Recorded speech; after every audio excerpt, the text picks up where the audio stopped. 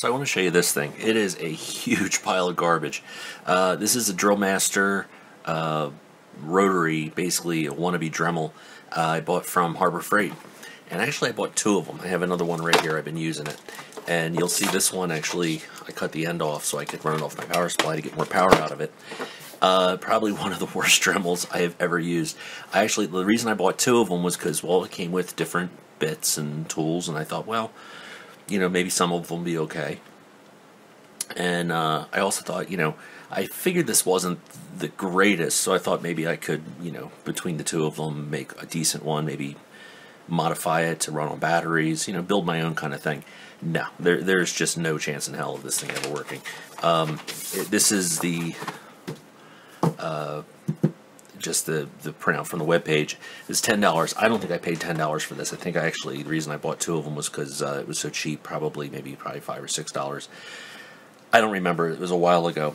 But this one has never been opened, so we're going to open this here. I'm going to show you how terrible this is, and just don't even waste your money. One of the reviews on the website, actually, there's a lot of great reviews, which are, if you, once you see this thing, you'll know why those reviews cannot be real. But one I do kind of agree with, and it talks about, it said something about it's great for your kids as, you know, one of their first power tools. And I can kind of get behind that, only because this thing is so weak that you, you couldn't possibly hurt yourself with it. Um, but there's also parts about it that uh, I wouldn't give a kid because they're just it's just dangerous. Okay, so now this one is a little bit different than this one I'm noticing. Uh, power buttons recessed, the molding or the, the housing's different, and these are actually bought at the same time. Um, so it'll be interesting to take this. I want to do. I do want to take this apart. I've taken this one apart, um, so I know what's in this. Uh, wow, this is completely different because the screw holes are on the other side. Yeah, different, different. It's completely different. Um, but I will take this apart. We'll look at what's inside of it, and uh, it's it's pretty funny actually. Uh, this this does, I don't even know what that's for. It does absolutely nothing. Um, the cutoff wheels they give you. Yeah. They're garbage. I mean, these things, they will literally come apart while you're using them. They don't cut. Most of the time, cutting wheels will just, you know, they wear down until there's nothing left. Now, these things, there's just nothing to them that's why I wouldn't give this to a kid because if they were to use this, these I've actually had these explode on me because I tried using them. I figured I got them. I might as well use them. I mean, even if I you know can't cut much with them, I, you know at least use them. I have them. Now they they most of them broke apart as soon as they heated up. They just blew apart. Luckily, I was wearing uh, eyeglasses, so you know I you know didn't get anything in my eyes. But let's open this up. And here's the rest of the tools they give you. They give you a, a very small, that's a drill bit. And as you'll see, this thing doesn't have the strength to drill. I mean, it, it really is that bad. These, they give you these these discs or these bands to put over well, first off, this the, the material that they use, the sanding material, is awful. It just immediately disintegrates as soon as you put it against anything. And they stretch, so you see it's on this rubber piece as soon as you start using it, they just start to spin. So they're that's worthless as well. Um, they give you a stone. These cloths aren't too bad.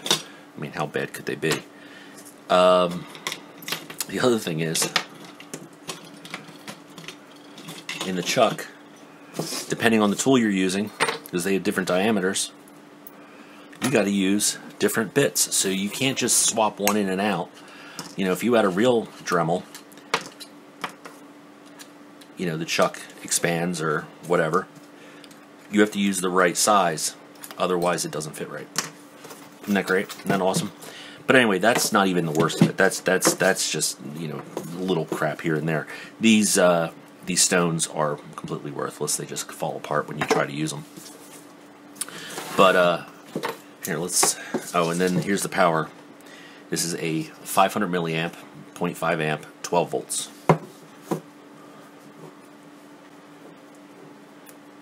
let's plug it in and I'll show you how this works or doesn't work.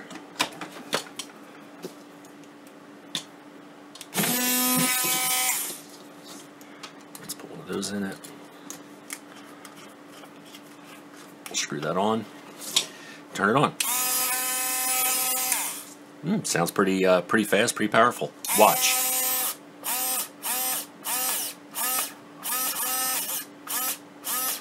Hardly any pressure whatsoever.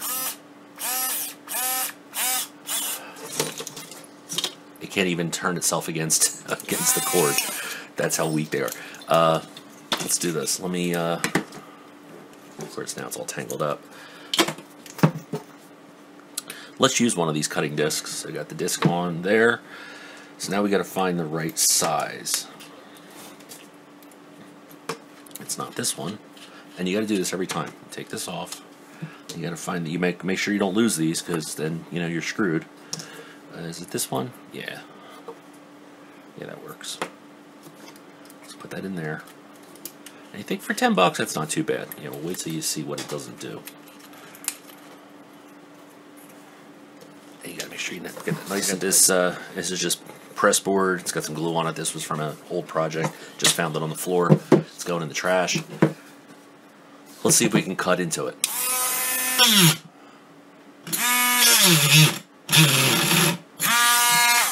Now you'll notice this started moving outwards because it unscrews itself.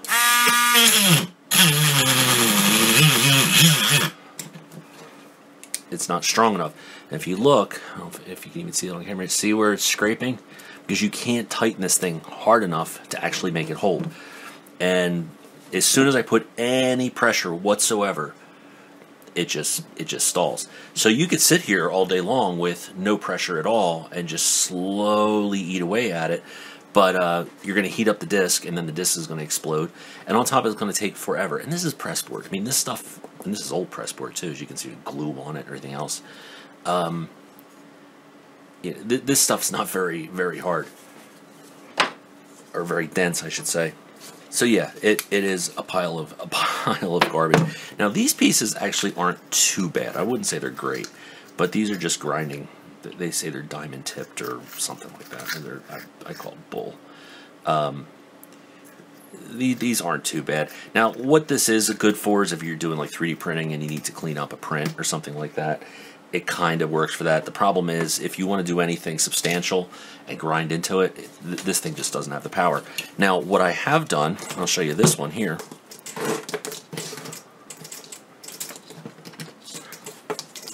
Is this one shorting out? I have this hooked up to my uh, my power supply, my bench power supply, and it's running at 12 volts and 2 amps. This one actually sounds nicer. But that's 12 volts. 2 amps. Nothing. So let's turn up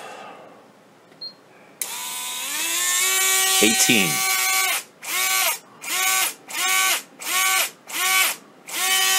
Eighteen.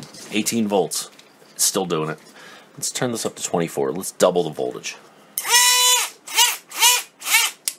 Nothing. Um, it's got it's got no no power whatsoever. So let's take this thing apart and see what's in it. Can't find my other screwdriver, so we'll just use this one for now. And when you see what's inside this, you'll know why it has no power.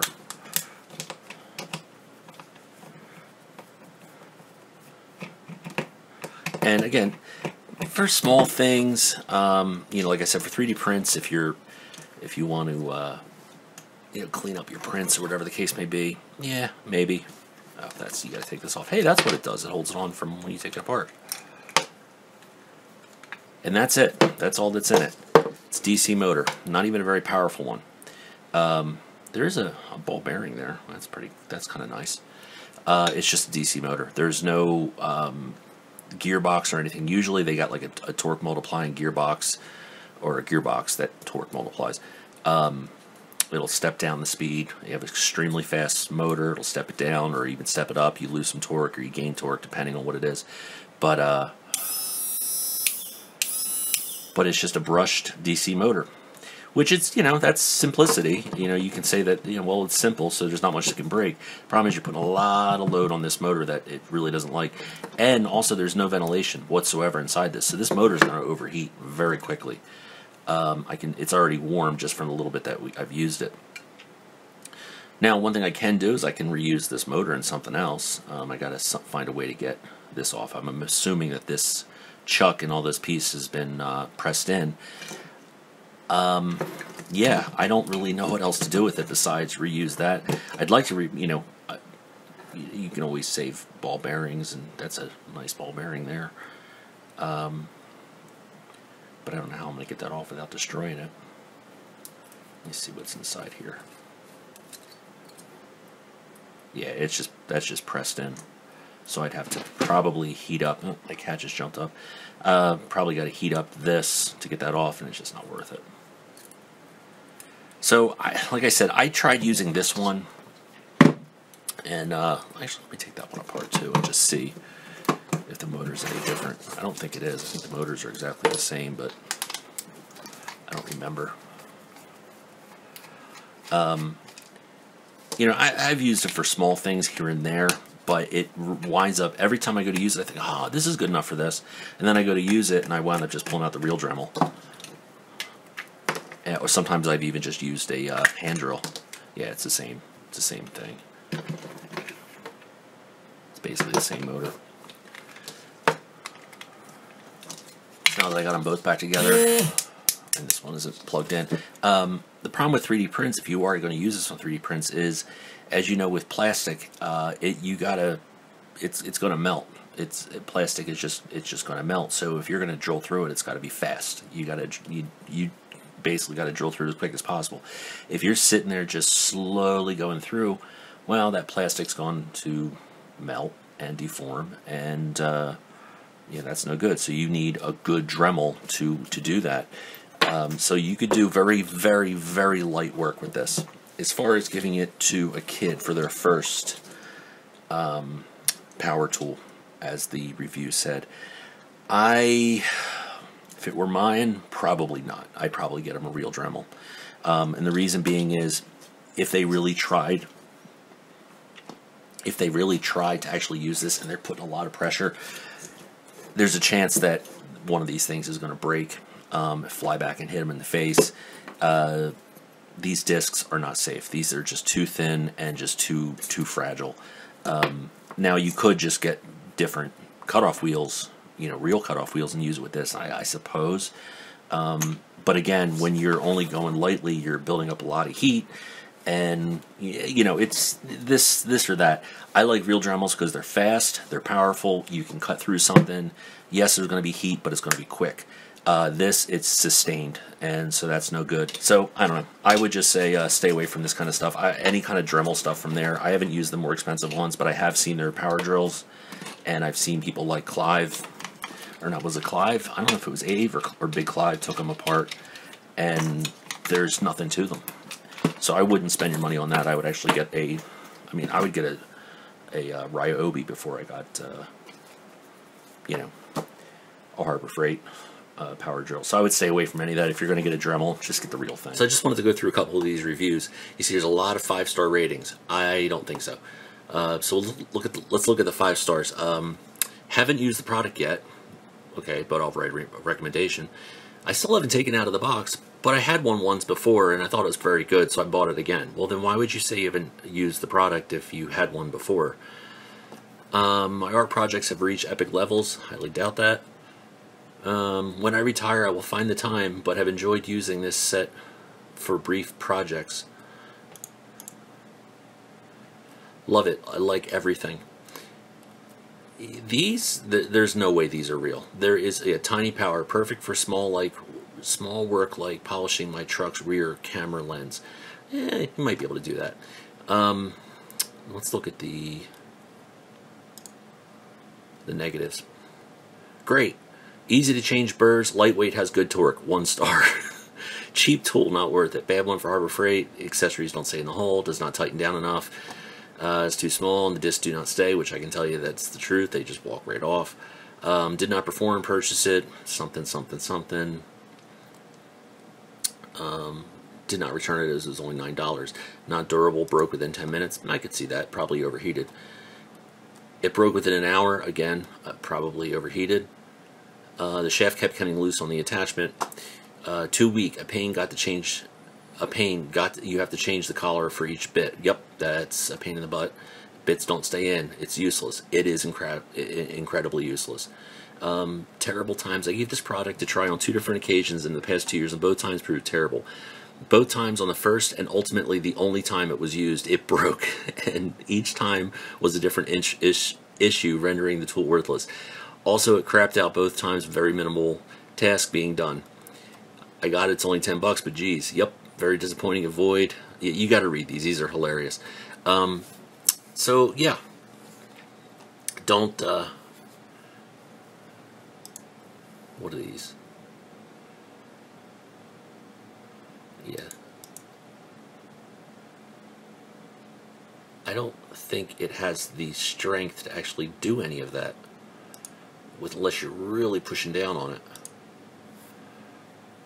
And no offense, but that looks like crap.